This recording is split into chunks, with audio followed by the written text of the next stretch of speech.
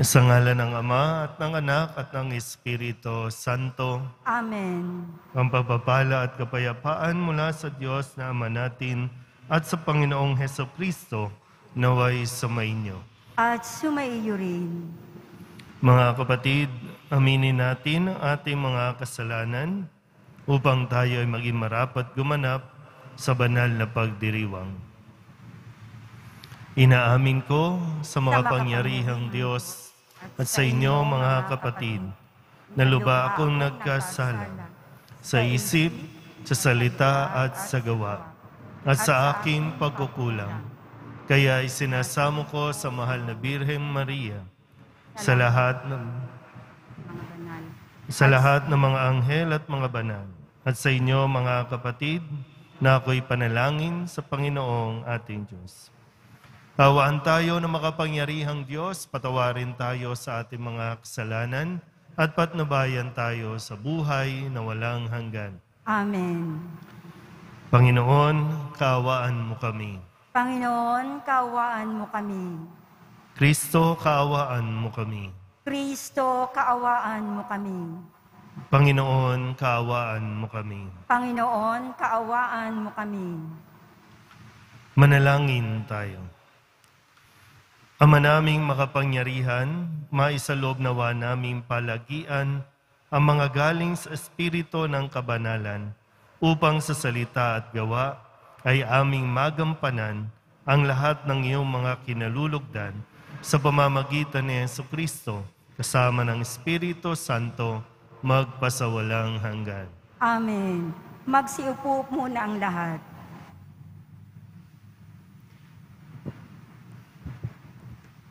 Pagbasa mula sa sulat ni Apostol Santiago.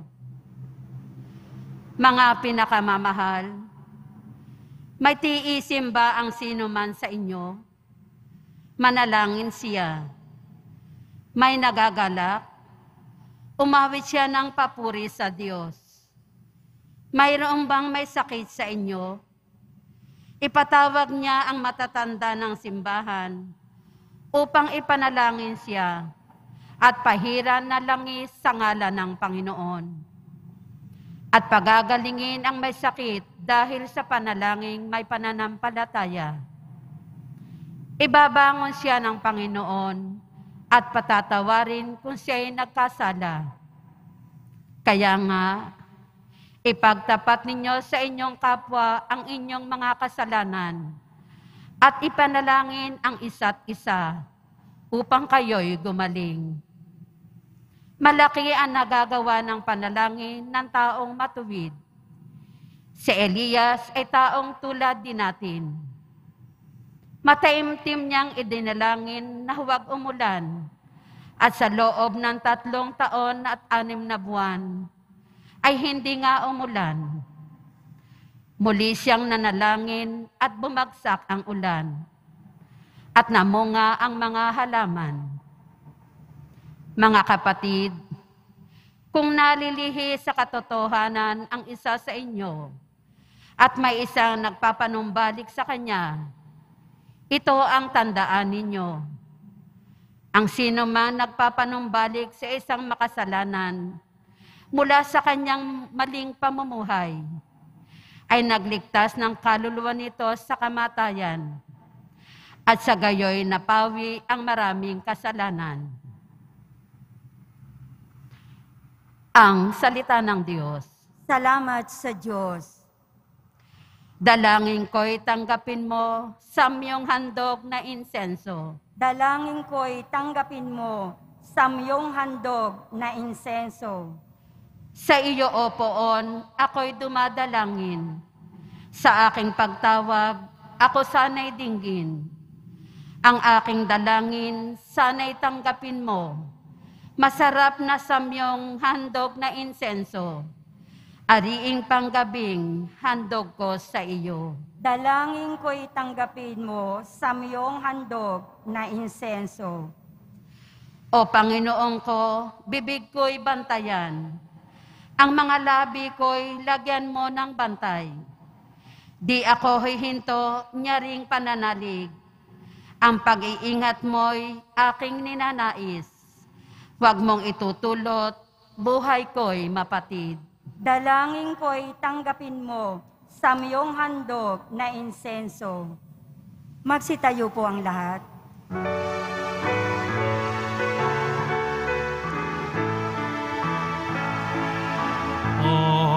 All day.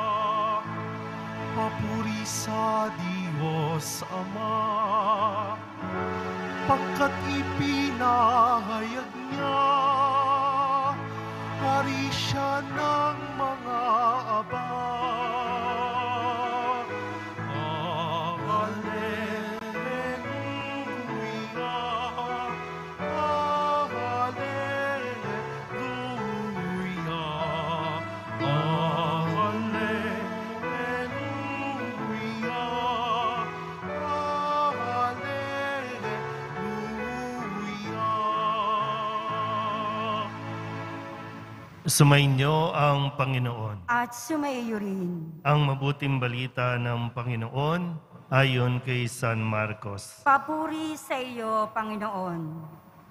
Noong panahong iyon, may nagdala ng mga bata kay Jesus upang hilinging ipatong niya sa mga ito ang kanyang kamay. Ngunit pinagwikaan sila ng mga alagad. Nagalit si Jesus na makita ito at sinabi sa kanila, Pabayaan ninyong lumapit sa akin ang mga bata. Huwag ninyo silang sawayin sapagkat sa mga katulad nila, nagahari ang Diyos. Ito ang tandaan ninyo. Ang sinumang hindi tumatanggap sa paghahari ng Diyos tulad ng isang maliit na bata, ay hindi mapapabilang sa mga pinagaharian niya. At kinalong ni Jesus ang mga bata. Ipinatong ang kanyang mga kamay sa kanila at pinagpala sila. Ang mabuting balita ng Panginoon. Pinupuri ka namin, Panginoong Heso Kristo. Magsiupo po ang lahat. Isang magandang araw po sa inyong lahat. Sa pagtatapos ng ikapitong linggo sa karaniwang panahon, atin pong balikan ang mga salita at mga aral na ibinigay sa atin ng poong Jesus Nazareno sa buong linggong ito. Nung lunes, no, para po sa mga nakapagsimba, sana po mas no, maalala nyo po no, yung mga pinagnilayan natin. At doon naman sa mga ngayon lang ulit nakapagsimba, sana po ay tandaan po ninyo ng mabuti. Ito yung mga aral na dapat natin laging binabaon. Hindi yung mga linyahan, hindi yung mga kung ano-ano mga salita na no, pinauuso natin. Pero nawa po, mas manatili sa ating puso't isipan ang mga salita na galing mismo sa poong Jesus Nazareno. Pinaalala po sa atin Jesus nung lunes na may mga bagay na talagang kahit anong galing natin ay hindi natin malulutas. May mga problemang ano, na tanging ang Diyos lang talaga ang makakatulong sa atin. Kasi nung kwento, no, yung mga alagad po ay merong hindi mapalayas na masamang espiritu.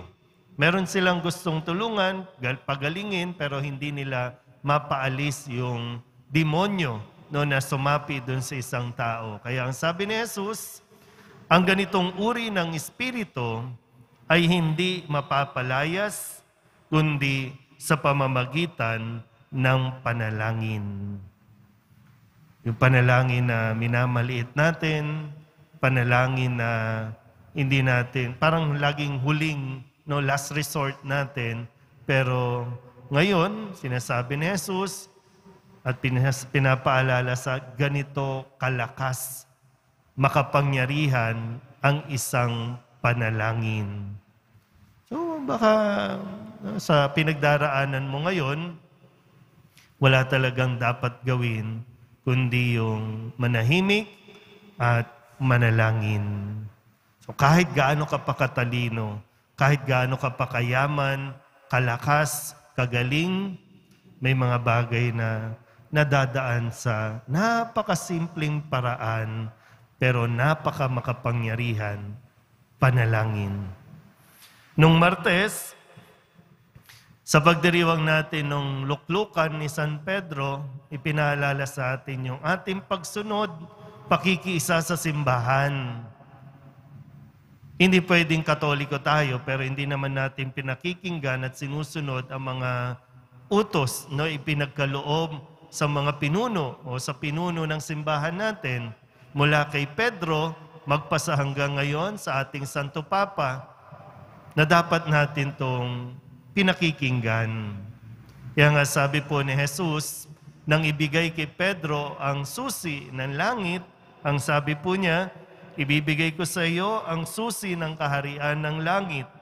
Ang ipagbawal mo sa lupa ay ipagbabawal sa langit.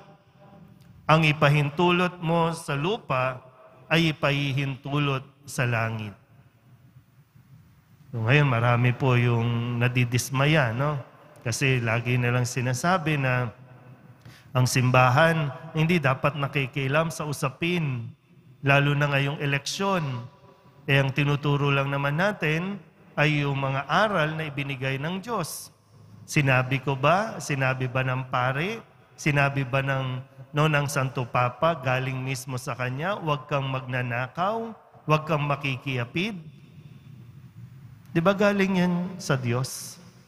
Na ipinasa at ipinagkalob kay Pedro na magpasa hanggang ngayon, inuulit at pinaaalala natin sa mga tao.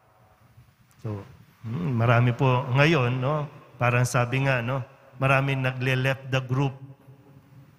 No? Sa social media dahil lamang sa mga naririnig natin na ipinapahayag sa simbahan.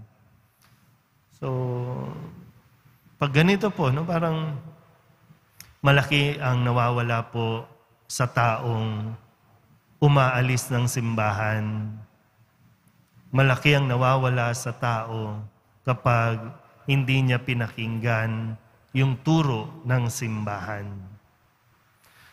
Nung Miyerkules, ang sabi naman ni Jesus, sapagkat ang hindi laban sa atin ay panig sa atin.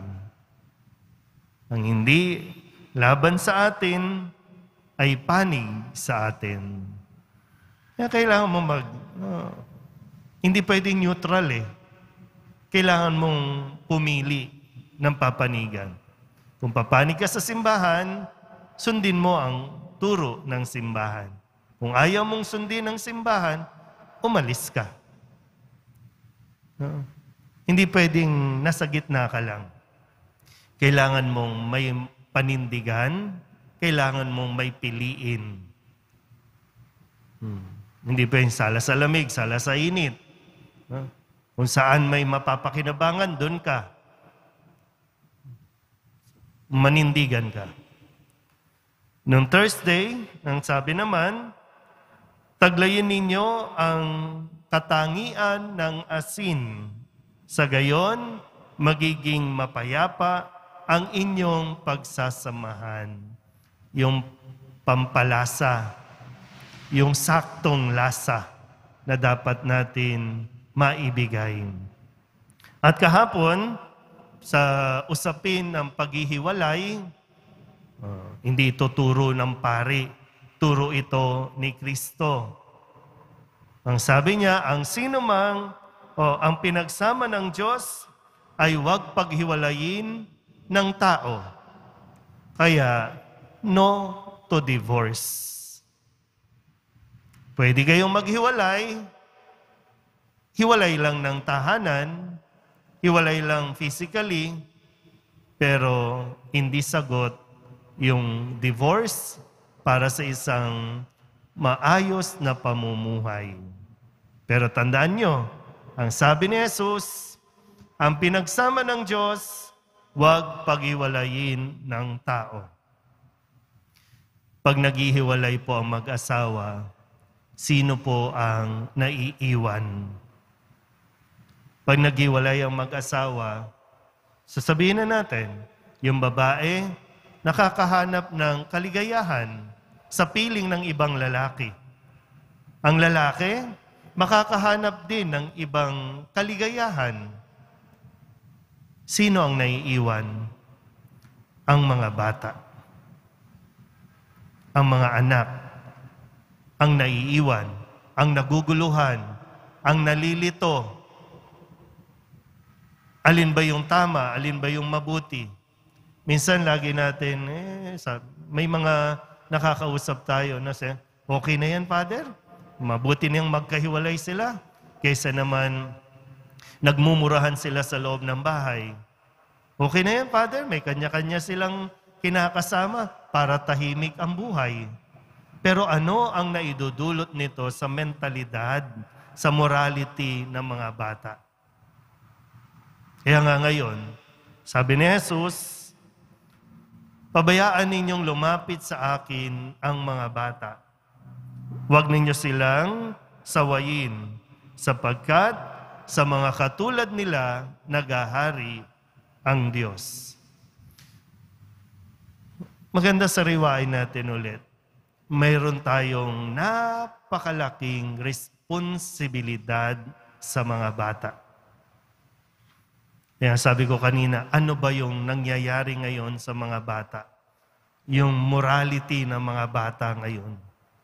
Distorted. Yung, yung dapat na mali, nagiging tama sa mga ipinapakita natin at nakikita nila at naririnig nila mula sa mga matatanda. Kamusta po ang mga ipinagkatiwala sa inyo ng Diyos? Nasaan po sila? Hindi tayo pwedeng walang pakialam. Hmm. May pananagutan po tayo nito sa Diyos. Na maganda, no? Ang dapat kasi yung yung proseso po ng bata, no? Pag bata ka, hayaan mo maging bata ka. Magpakabata ka, pag bata. Pag matanda, tanggapin mo matanda ka na. At yung responsibilidad nga na nakaatang sa iyo, no, na tumanda ka, dapat may pinagkakatandaan. Eh, hindi, yung mga bata ngayon, sinipilit nating tumanda kasi ayaw natin mag-take ng responsibility. Ayaw na natin silang bantayan, ayaw natin silang alagaan, kaya dapat tumanda ka na, mabuhay ka na ng mag-isa, kaya mo na yan. Kasi nga, yung matatanda, may sariling buhay. Pero ang problema, kapag tumanda, yun, kung kailan tumanda, doon nag-aasal bata. Pag tumanda, doon nag-iisip bata. Yung mga desisyon, parang pambata. Ilan ba sa mga tatay na? Sa mga tatay na ha? At sa mga nanay, sabihin na natin, kung kailan tumanda, doon naglalaro. doon nakikipaglaro. Kasi hindi nakipaglaro nung bata. Okay? Kaya nagkakaproblema tayo. Di ba? Yung pag, pag yung nasasabi na ba naman ito, tanda-tanda na, parang bata pa. Makapagtampo, wagas. Di ba? So, sana po, no? Sa paalala ni Jesus, huwag natin hadlangan ang mga bata. Bagkus dalhin natin sa Diyos. Mapalapit sa Diyos ang mga bata. Malaki po yung naki, malaking impluensya yung nakikita nila sa atin, naririnig nila sa atin.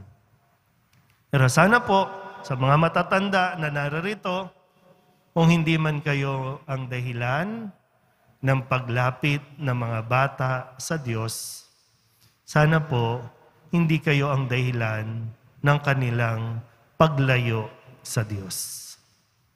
Amen. Magsitayo po muna ang lahat.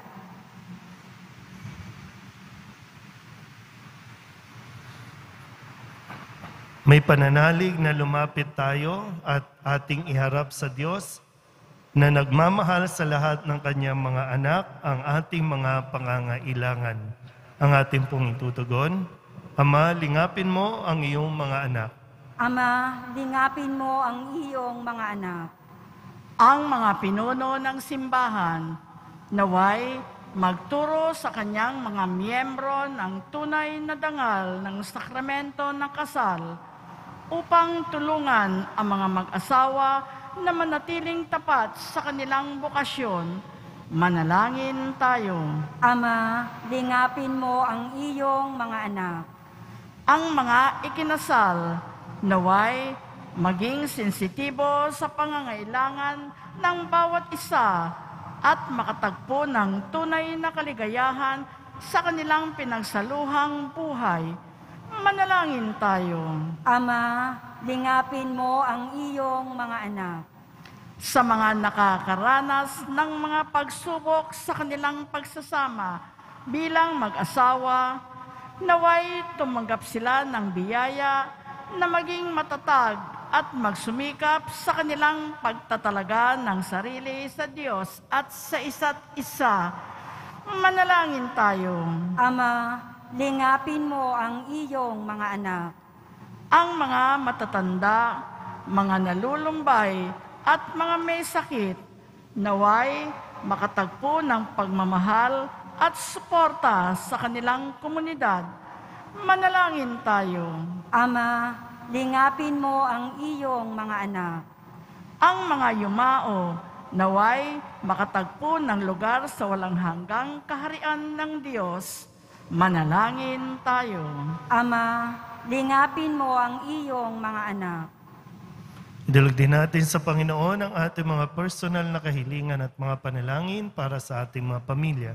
Ganon din ang lahat ng mga misang pasasalamat, special na intensyon at mga kaluluwa na inihiling na ipagdasal sa misang ito. Amen. Magsiupo po ang lahat. Ang lahat ng ito inihiling namin sa ngalan ni Kristo, aming Panginoon. Amen.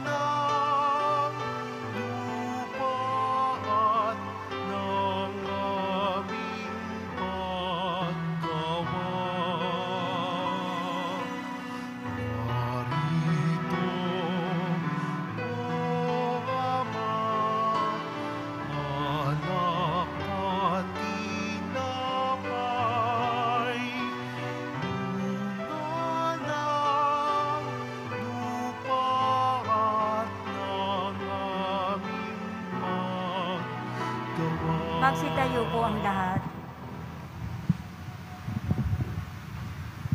Manalangin kayo mga kapatid upang paghahain natin ay kalugdan ng Diyos sa mga makapangyarihan. Tanggapin nawa ng Panginoon itong paghahain sa iyong mga kamay, sa kapurihan niya at karangalan, sa ating kapakinabangan at sa buong sambayanan niyang banal. Ama naming lumikha sa pagganap namin ng banal na pagdiriwang upang ikaw ngayoy aming paglingkuran, inihiling namin naway mapakinabangan ang aming inihahain sa iyong karangalan sa pamamagitan ni Yesu Kristo kasama ng Espiritu Santo magpasawalang hanggan. Amen. Sumainyo ang Panginoon. at sumayo rin. Itaas sa Diyos ang inyong puso at diwa. Itinaas na namin sa Panginoon. Pasalamatan natin ang Panginoong ating Diyos. Marapat na siya ay pasalamatan. Ama naming makapangyarihan, tunay nga marapat na ikaw ay aming pasalamatan.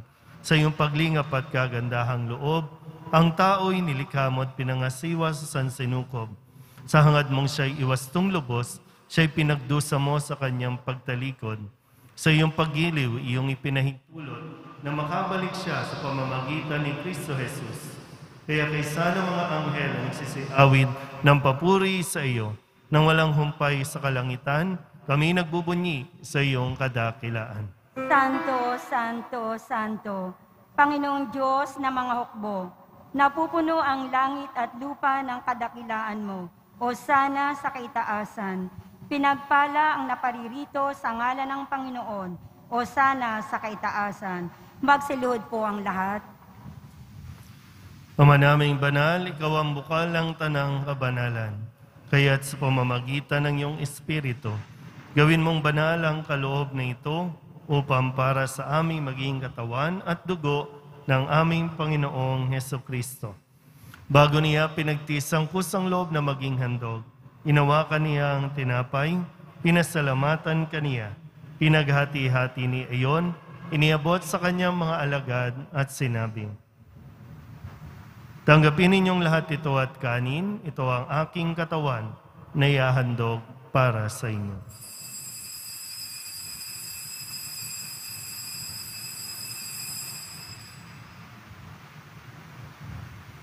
Gayun din naman ang matapos ang hapunan, hinawakan niya ang kalis, muli kaniyang pinasalamatan. Iniabot niya ang kalis sa kanyang mga alagad at sinabi, Tanggapin ninyong lahat ito at inumin. Ito ang kalis ng aking dugo, ng bago at wala hanggang tipan. Ang aking dugo na ibubuhos para sa inyo at para sa lahat sa ikapagpapatawad ng mga kasalanan. Gawin ninyo ito sa pag-alaala sa akin.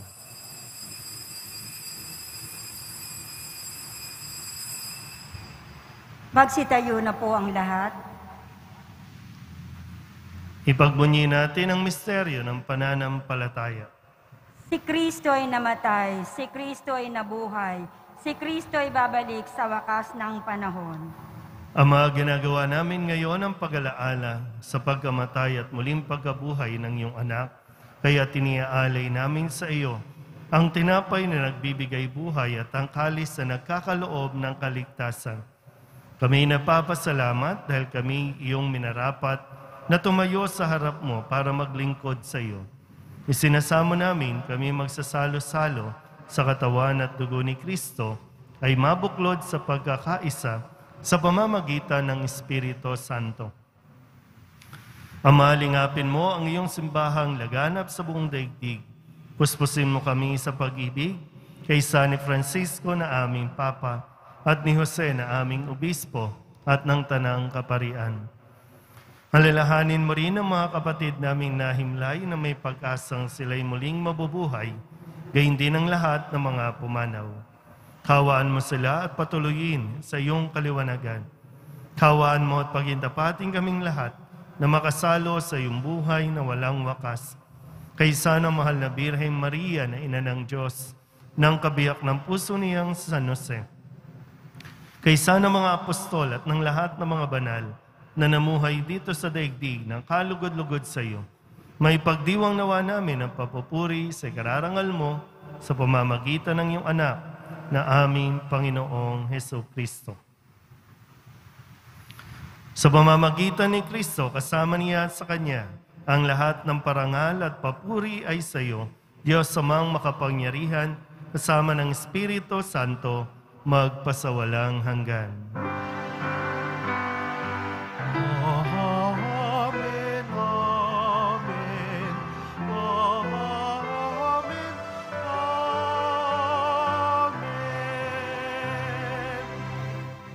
Buong kababaang loob tayong tumawag sa ating Panginoon ng Ama namin. Ama namin, Sumasalangit ka, sambahin ang ngalan mo, mapasa amin ang kaharian mo, sundin ang loob mo dito sa lupa para nang sa langit. Bigyan mo kami ngayon ng aming kakanin sa araw-araw, at patawarin mo kami sa aming mga sala, para nang pagpapatawad namin sa nagkakasala sa amin. At huwag mo kaming ipahintulot sa tukso, at iadya mo kami sa lahat ng masama. hinihiling namin kami iadya sa lahat ng masama, pagkalooban ng kapayapaan araw-araw, iligtas sa kasalanan, at ilayo sa lahat ng kapahamakan. Samantalang aming pinananabikan ang dakilang araw ng pagpapahayag ng tagapagligtas naming sa Yesu Kristo. Sapagat iyo ang kaharian at ang kapangyarihan at ang kapurihan magpakailanman. Amen. Panginoong Heso Kristo, sinabi mo sa iyong mga apostol, Kapayapaan ang iniiwan ko sa inyo, ang aking kapayapaan ang binibigay ko sa inyo. Tunghayan mo ang aming pananampalataya at huwag ang aming mga pagkakasala. Pagkalooban mo kami ng kapayapaan at pagkakaisa ayon sa iyong kalooban, kasama ng Espiritu Santo, magpasawalang hanggan. Amen. Ang kapayapaan ng Panginoon ay laging sumainyo. At sumaiyo rin. Magbigayan po tayo ng kapayapaan sa isa't isa. Kordero ng Diyos, nag-aalis mga kasalanan ng sanlibutan, maawa ka sa amin. Kordero ng Diyos na nag-aalis mga kasalanan ng sanlibutan, maawa ka sa amin. Kordero ng Diyos na nag-aalis ng mga kasalanan ng sanlibutan, ipagkaloob mo sa amin ang kapayapaan. Magsiluhod po ang lahat.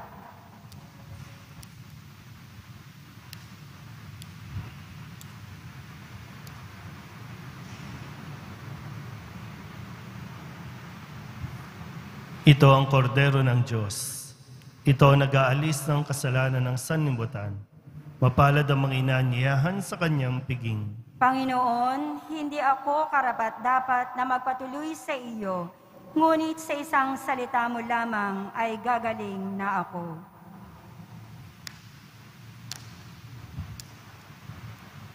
Katawan ni Kristo, Amen.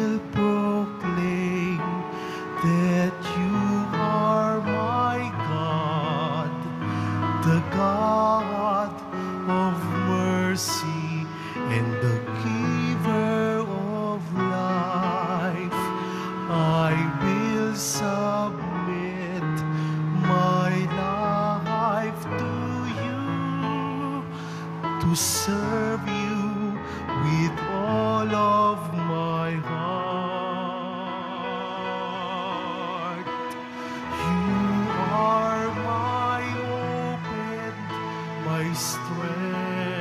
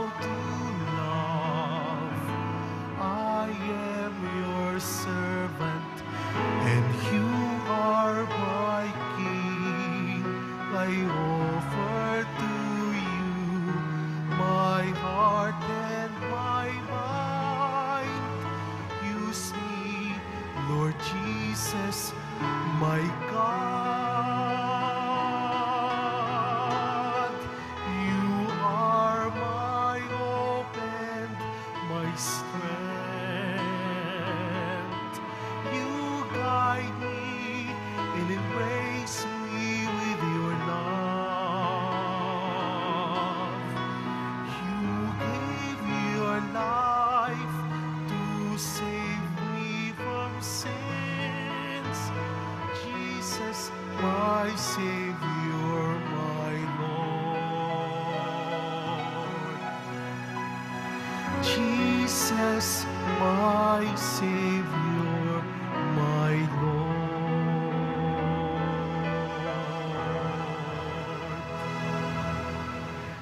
Magsitayo po ang lahat. Manalangin tayo. Ama naming mapagmahal, ipagalob mo ang aming mapakinabangan ang dulot na kaligtasan ng aming pinagsaluhan bilang sanla ng iyong tiyak na pagsagip sa tanan sa pamamagitan ni Yeso Kristo kasama ng Espiritu Santo magpasawalang hanggan. Amen. Panalangin kay San Roque. O pinapalang San Roque, pintakasi ng mga may karamdaman. Lingapin mo po ang aming mga kapatid na nasa banig ng karamdaman. Ang iyong pamamagitan ay sadyang makapangyarihan na nung ikay narito pa sa daigdig, marami ang gumaling dahil sa pag-aantanda mo sa kanila ng kamahal-mahalang krus. Ngayong ikay niluluwalhati na dyan sa langit, nananalig kaming ang iyong pamamagitan ay lubhang magaling. Ialay mo po sa Panginoong Diyos, yaring aming mga hinaing, at sa tulong po ninyo ay makamit ang kagalingan ng aming kaluluwa at katawan. Pakundangan sa mga hirap at sakit ng Panginoong Heso Kristo at iyo pong mga panalangin. Amen. Senior San Roque, ipanalangin mo po kami upang kami maiadya sa salot na COVID-19 at sa mga karamdaman ng katawan at kaluluwa. Senior San Roque, ipanalangin mo po kami upang kami maiadya sa salot na COVID-19 at sa mga karamdaman ng katawan at kaluluwa. Senior San Roque, ipanalangin mo po kami upang kami maiadya sa salot na COVID-19 at sa mga karamdaman ng katawan at kaluluwa. Sumainyo ang Panginoon, At sumaiyo rin. manalangin tayo para sa pagbabasbas. Mahal na pong Jesus Nazareno, inihayag mo sa pamamagitan ng krus ang walang maliw na pag-ibig ng Diyos sa sangkatauhan. Pakinggan mo ang kahilingan ng iyong angkan na nagsusumamo sa iyo. Makamtanawa nila ang iyong katugunan at tanggapin ang kasagutan ng may utang na loob na tinatanaw. Basbasan din po ninyo ang mga dala-dala nilang mga imahin at dasalan sa pamamagitan ng bindisyon na ito naway maalala nila ang mga pangako nila noon sa binyag na ikaw ang kanilang ibigin at paglilingkuran bilang Panginoon magpasawalang hanggan. Amen. At pagpalaing kayo ng makapangyariang Diyos, Ama at Anak at Espiritu Santo. Amen. Umayo kayong taglay ang kapayapaan ng poong Jesus Nazareno. Salamat sa Diyos. Magandang araw po.